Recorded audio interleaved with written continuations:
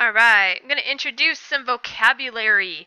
These are words that you will see in your story. They're also words that we will work with later this week in um, vocabulary strategies and um, vocabulary in context. So these are um, the words that you will see. Let's look over them. If you'd read the blue word with me and then the sentence, like last week, and then I will tell you what it means um, give you the think about it and the talk it over, um, at which point I would like you to pause the video and discuss those things with your learning adult at home. Because remember, it's very important for you to, um, to talk about your ideas and to um, give them credit. Um, so here we go. Read it with me. Politics. Politics is the work of government. Running for office and voting are part of politics. Politics is the work of forming and running governments. How do you think politics affects you and your family? Explain. Discuss with your learning adult what you know about how politics work in the United States. How do we elect our political representatives? Read it with me. Intelligent. Smart people make intelligent decisions when they vote. An intelligent person has the ability to learn, think, and understand. Who is the most intelligent person that you know? And what makes him or her intelligent? Which of the following sentences describe intelligent acts? Go ahead and read the bulleted sentences and tell you, talk it over with your learning adult. Which of these sentences describe intelligent? Disorderly.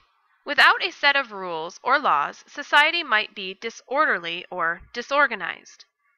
If people are being disorderly, they are behaving in a way that is out of control or against the rules. What happens when students are disorderly? Think of a time when you have been in a disorderly setting and describe what it was like to your learning adult. Approve. People who run for office hope voters will like and approve of them. To approve of something is to like and agree with it. Do you approve of the way the students in your class dress? Why or why not? Tell which of your choices your parents or guardians approve of and which of your choices they do not approve of by discussing this table with your learning adult at home.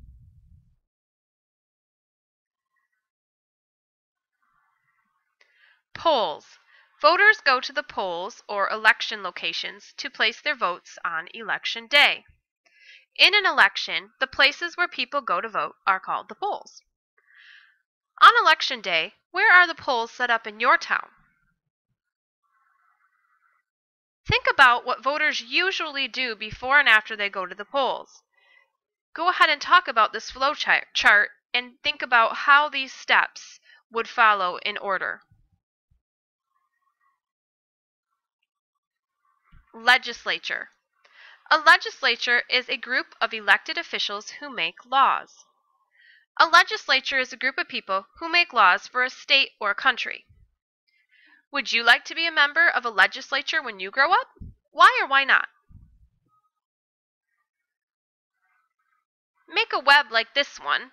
Fill it in with words that are connected with the work of a legislature.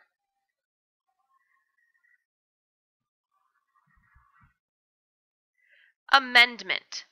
Only in 1920 did an amendment to the Constitution allow all U.S. women to vote.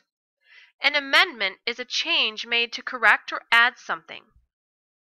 What kind of amendment would you make to your school's rules if you could? With your learning adult, decide which of the following sentences use amendment correctly.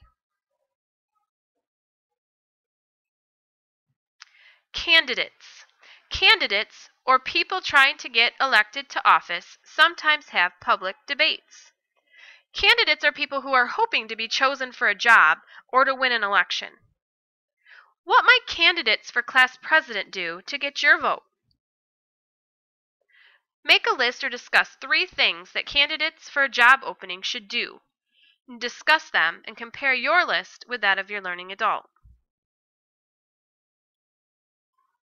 Informed.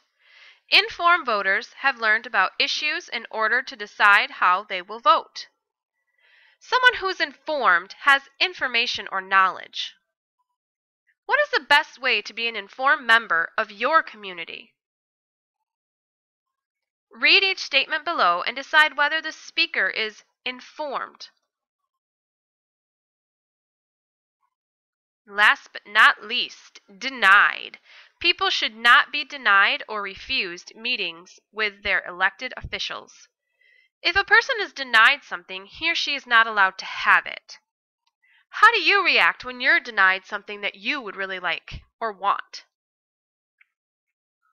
Identify the sentences that show that someone was denied something and discuss it with your learning adult at home.